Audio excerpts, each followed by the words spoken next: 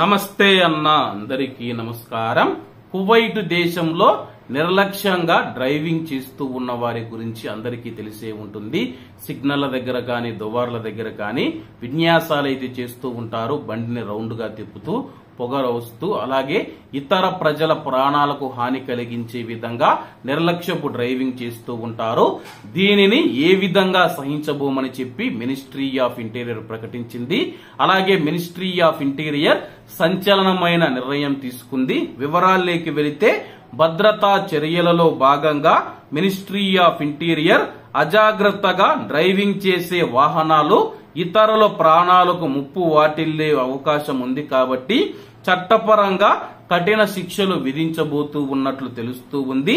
కొనసాగుతూ ఉన్న ట్రాఫిక్ ప్రచారాల ద్వారా general administration of logistics and catering సహకారంతో జనరల్ ట్రాఫిక్ డిపార్ట్మెంటు కార్ క్రష్లో నిర్లక్ష్యంగా డ్రైవింగ్ చేసే వాహనాలను స్వాధీనం చేసుకొని ఆ యొక్క వాహనాలను క్రష్ చేస్తామని చెప్పి తెలియజేయడం జరిగింది.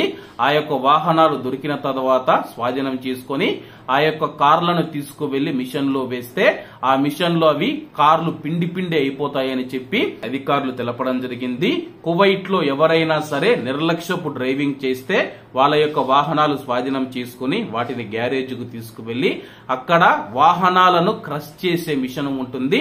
ఆ యొక్క మిషన్లో వేస్తే వాహనం క్రష్ అయిపోతుంది కాబట్టి ఎవరు నిర్లక్ష్యంగా డ్రైవింగ్ చేస్తూ ఇతరుల ప్రాణాలకు హాని కలిగించే విధంగా డ్రైవింగ్ చేయకూడదని చెప్పేసి వెల్లడించారు కాబట్టి కువైట్లో ఉన్న మన భారతీయ డ్రైవర్ అన్నలు ఎవరైతే ఉన్నారో ఈ విషయంలో చాలా జాగ్రత్తగా ఉండనన్న.